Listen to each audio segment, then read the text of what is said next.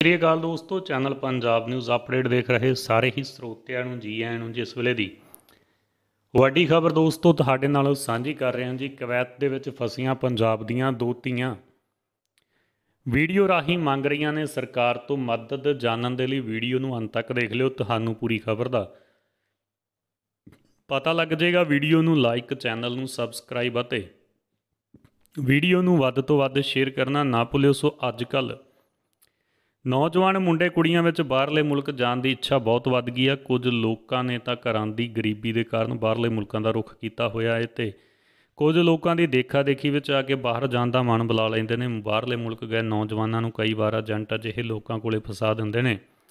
ਜਿੱਥੋਂ ਨਿਕਲਣਾ ਵੀ ਔਖਾ ਹੋ ਜਾਂਦਾ ਜੀ, ਛਾਤਰ ਲੋਕ ਕੰਮਕਾਰ ਕਰਨ ਗਏ ਨੌਜਵਾਨਾਂ ਦੀ ਮਜਬੂਰੀ ਦਾ ਫਾਇਦਾ ਚੁੱਕਦੇ ਨੇ।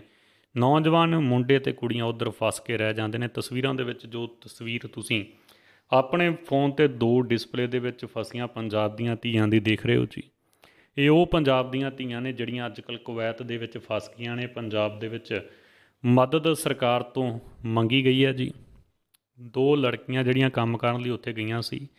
ਹੁਣ ਇਹਨਾਂ ਦੇ ਵੱਲੋਂ ਸੋਸ਼ਲ ਮੀਡੀਆ ਤੇ ਇੱਕ ਵੀਡੀਓ ਸਾਂਝੀ ਕੀਤੀ ਗਈ ਹੈ ਜੀ।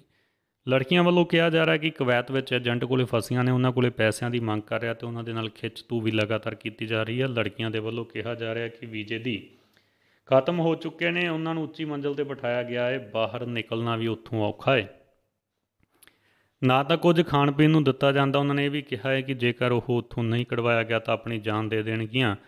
ਉਹਨਾਂ ਵੱਲੋਂ ਵੱਧ ਤੋਂ ਵੱਧ ਲੋਕਾਂ ਨੂੰ ਪੰਜਾਬ ਸਰਕਾਰ ਨੂੰ ਮਦਦ ਦੀ ਗੁਹਾਰ ਲਾਈ ਗਈ ਆ, ਸੋ ਵੀਡੀਓ ਨੂੰ ਜ਼ਿਆਦਾ ਤੋਂ ਜ਼ਿਆਦਾ ਲੋਕਾਂ ਦੇ ਨਾਲ ਸ਼ੇਅਰ ਕਰੋ ਤਾਂ ਜੋ ਇਹਨਾਂ ਪੰਜਾਬ ਦੀਆਂ ਧੀਆਂ ਨੂੰ ਬਚਾਇਆ ਜਾ ਸਕੇ।